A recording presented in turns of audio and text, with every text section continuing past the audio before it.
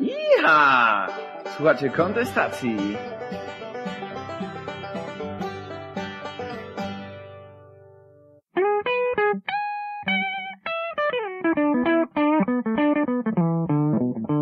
Opowieści pastora przedsiębiorcy. Witam serdecznie opowieści pastora przedsiębiorcy. Więcej o mnie na mojej stronie internetowej www.koach.pl Dzisiaj, czy święta mogą pomóc w biznesie? Uważam, że tak i to mocno, z kilku powodów, z których skupię się na dwóch. E, Pierwszy chyba nikt z nas e, nie chce tak się rozpędzić w życiu, żeby zostać zatrzymanym przez chorobę. E, Mi zdarzyło się to kiedyś, kilka lat temu i choroby się ciągnęły, właściwie to nie były choroby, ale to była przypuklina i źle zrobiony zabieg i potem kolejny i ciągnęło się półtorej roku. W każdym razie ten czas zatrzymania był mi potrzebny, to jeszcze było przed tym jak Władca Pierścieni wszedł do kin, więc sobie przeczytałem całego, całą trylogię plus jeszcze Hobbita i dlatego z niecierpliwością czekam, aż niedługo będzie można go obejrzeć, ale dobra, yy, na temat. Więc po pierwsze, święta sprawiają to, że zatrzymują cię w miejscu, przynajmniej jeżeli dobrze je wykorzystasz, bo można pracować mimo, że są święta. I widzisz, niektórzy nie chcą się zatrzymać w miejscu. Dlaczego? Ponieważ kiedy zatrzymasz się w miejscu, wtedy może się okazać, y, że gonisz dlatego, żeby uciec od siebie, od swoich problemów, spraw i innych takich rzeczy. Dlatego często w święta kłócimy się więcej niż w inne dni, ponieważ w te dni szczególnie mamy dużo czasu dla siebie i rzeczy niepozałatwiane zaczynają drążyć. A druga sprawa to jest taka, że widzisz, czy rzeczywiście masz z kim świętować. To jedna z ważniejszych rzeczy. Czasami tak patrzę na niektórych, jak gonią i, fajnie, że im się powodzi i naprawdę to jest wspaniałe. Problem czasami polega na tym, że rodzi się pytanie, po co oni chcą ten sukces?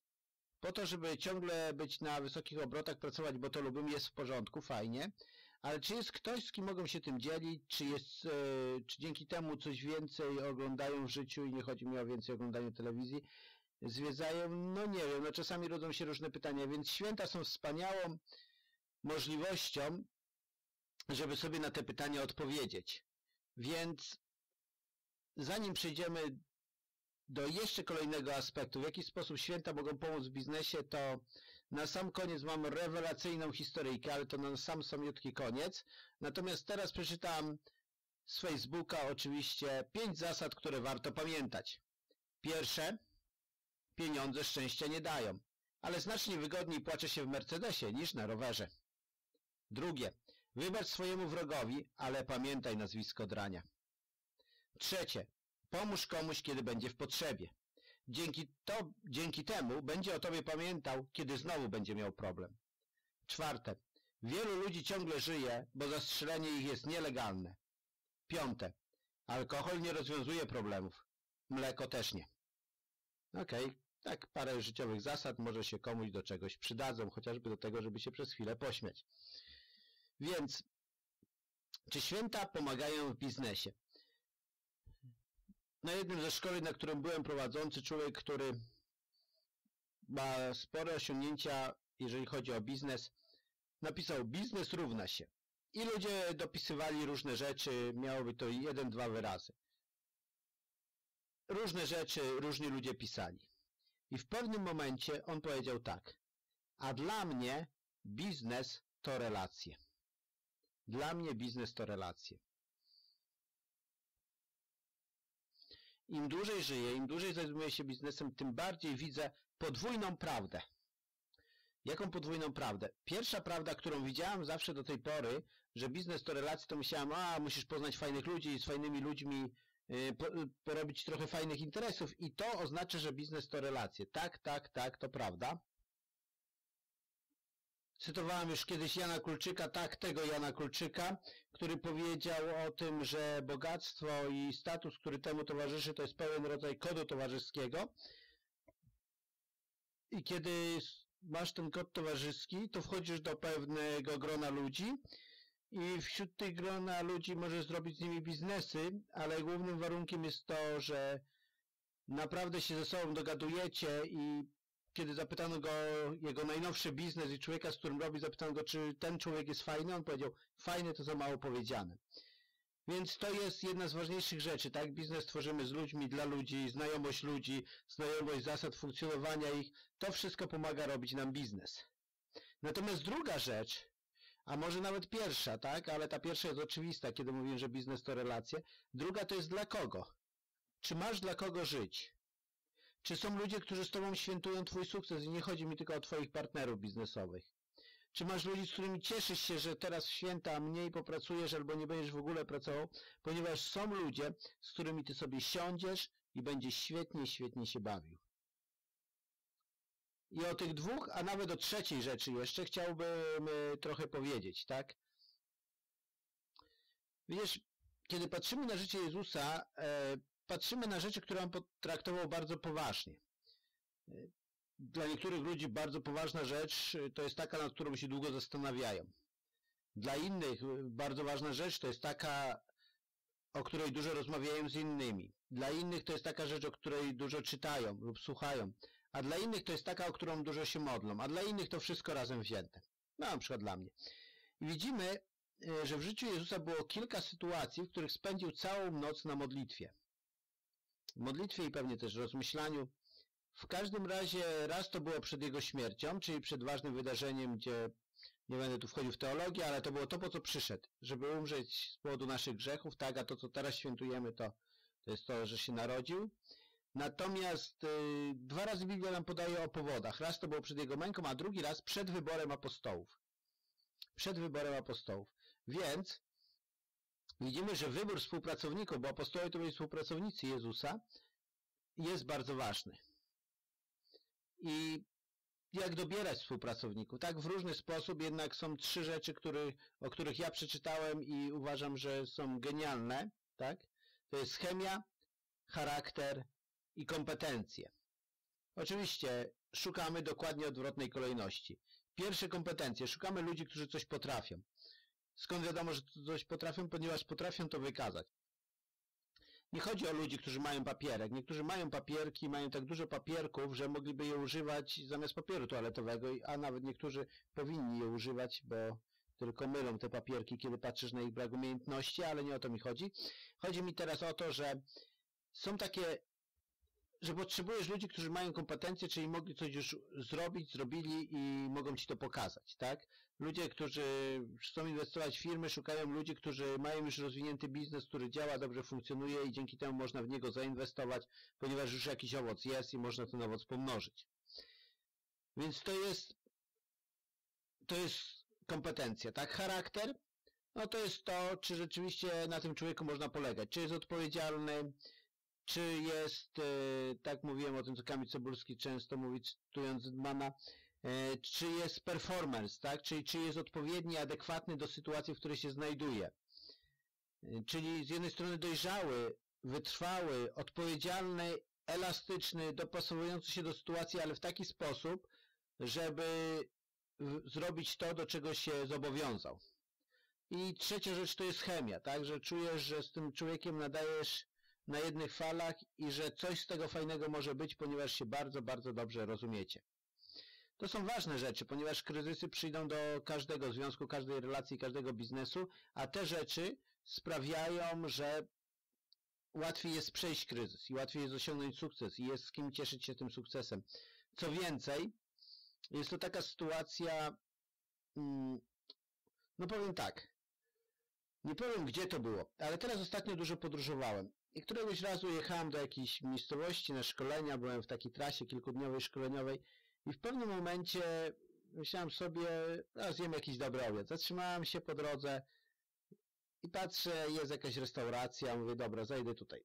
Doszedłem, usiadłem, czekałem na obiad, obok mnie był zastawiony stolik i przyszły tam cztery pary y, ludzi, jak się okazało, wspólnie prowadzących biznes.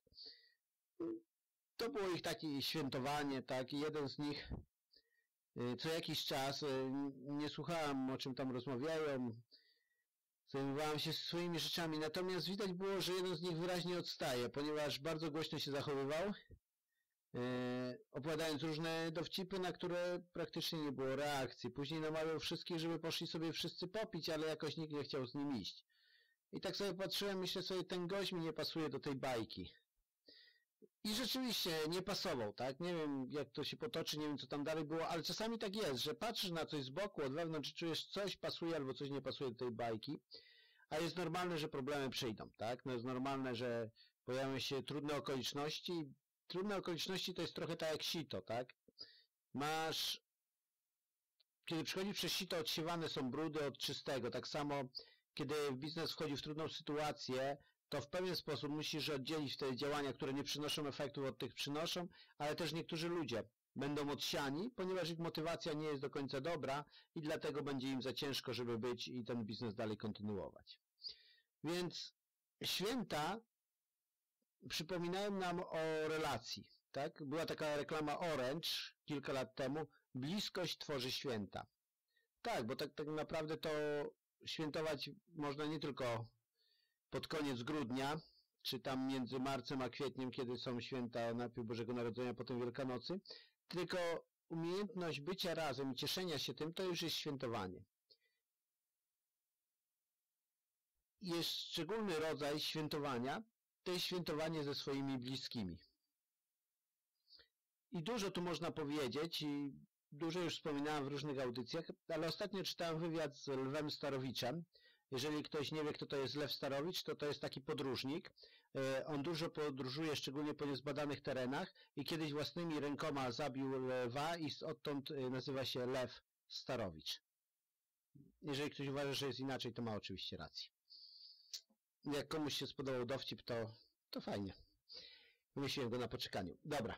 E, Lew Starowicz mówił o czterech rzeczach charakteryzujących dobre małżeństwo, które w czterech takich filarach. I naprawdę bardzo, bardzo mi się to spodobało. I mówię takich czterech składowych, tak? E, do, dobrego małżeństwa, dobrej relacji. I pierwsza składowa, on określił, że to jest miłość. On nie rozwijał tych wątków, ja je rozwinę. On je zna, ja je rozwinę. Więc miłość ma wiele aspektów i oczywiście emocjonalny nie jest najważniejszy, ale na emocjonalnym dzisiaj chcę się skupić, ponieważ e, związek z drugą osobą musi obejmować emocje, bo jeżeli ich nie obejmuje, jest suchy. To jest trochę tak jak prowadzenie firmy. E, w firmie nie musisz mieć emocji do współpracowników, chociaż często masz te negatywne. Natomiast e, tutaj jest ważne, żebyś miał. I gdzieś tam ktoś napisał o roli miłości w życiu. Nie wiem kto, ale bardzo fajne to jest. Inteligencja bez miłości czyni cię przewrotnym. Sprawiedliwość bez miłości czyni cię nieugiętym. Dyplomacja bez miłości czyni cię hipokrytą. Sukces bez miłości czyni cię aroganckim. Bogactwo bez miłości czyni cię sknerą. Ubóstwo bez miłości czyni cię radykałem. Piękność bez miłości czyni cię zabawnym. Władza bez miłości prowadzi do tyranii. Praca bez miłości czyni cię niewolnikiem. Naiwność bez miłości pozbawia cię wartości. Modlitwa bez miłości czyni cię egoistą. Wiara bez miłości czyni cię fanatykiem. Krzyż bez miłości staje się udręką. Życie bez miłości traci sens. Więc to jest jeden z ważniejszych wymiarów. Życie bez miłości traci sens. Jeżeli nie masz osoby, której kochasz i przez którą czujesz się kochany, to w pewnym momencie można się zapytać, po co to wszystko? Po co to wszystko? Więc to jest pierwsza rzecz, o której Lew Starowicz wspominał, znany polski podróżnik. E, wspominał o tym, że udany związek tworzy miłość. Wiesz, to można sobie zadać takie małe refleksyjne pytanie, czy mam kogoś, kto mnie kocha i czy jest ktoś, kogo ja kocham. Kolejny aspekt to jest przyjaźń. Kolejny aspekt do, dobrego związku. Przyjaźń to jest pewnie ma wiele aspektów i dla mnie, gdybym miał istotę przyjaźni, to jest nadawanie na tych samych falach.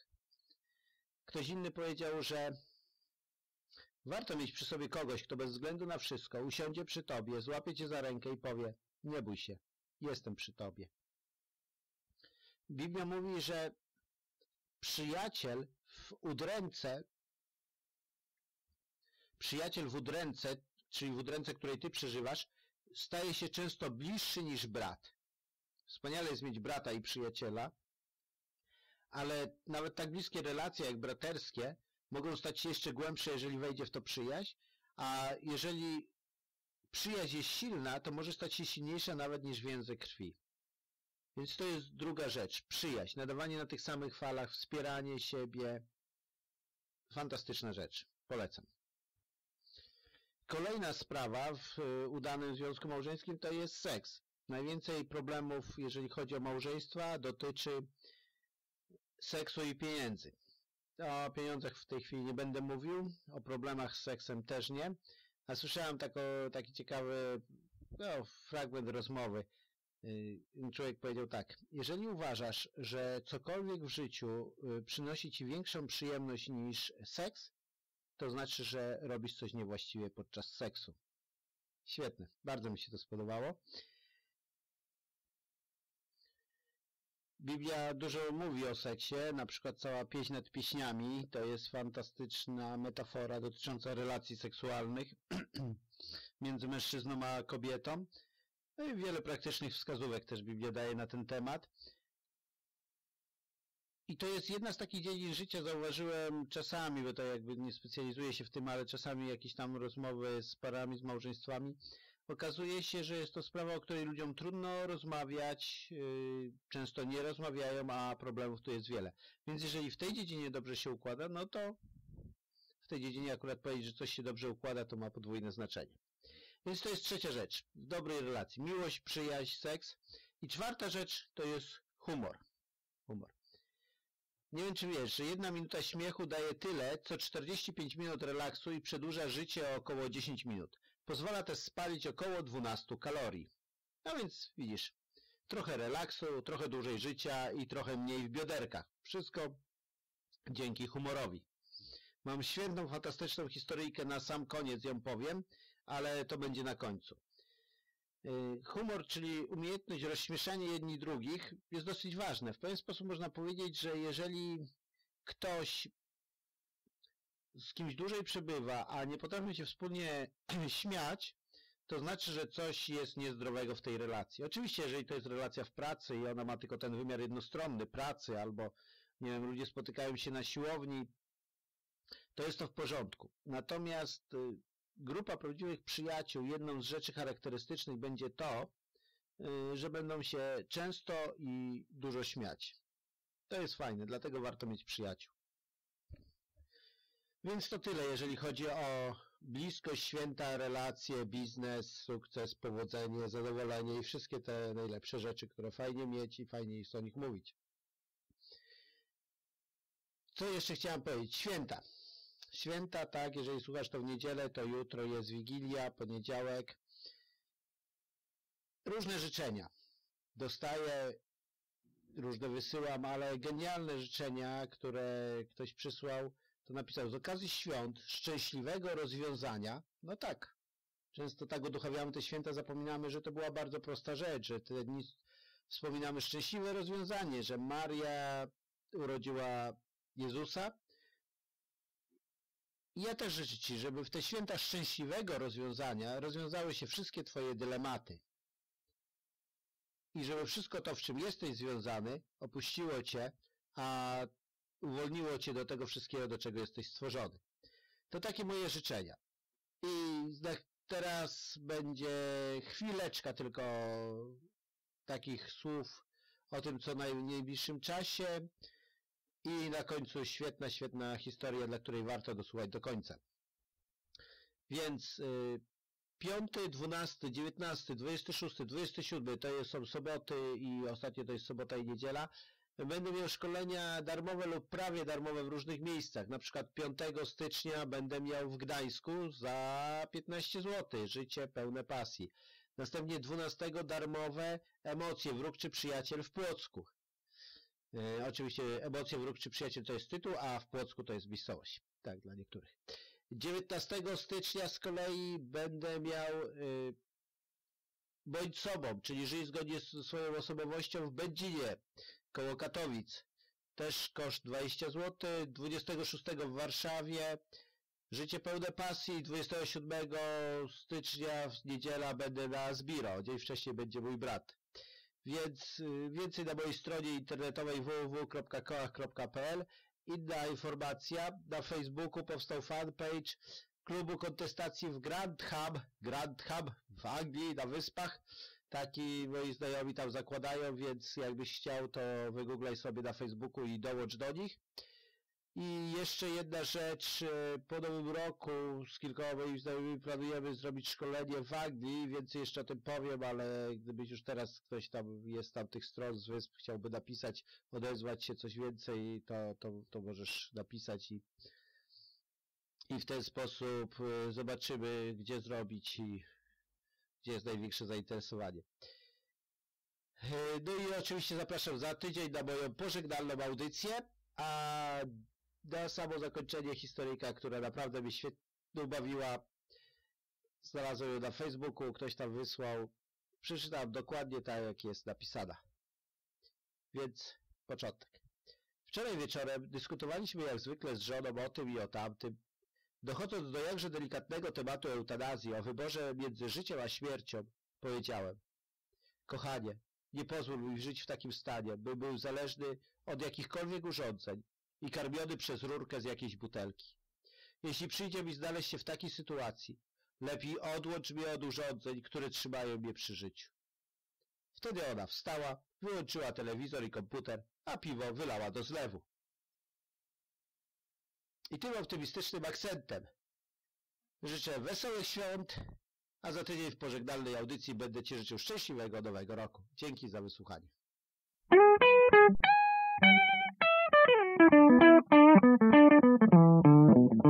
Wysłuchałeś opowieści pastora przedsiębiorcy. Iha! Słuchajcie kontestacji.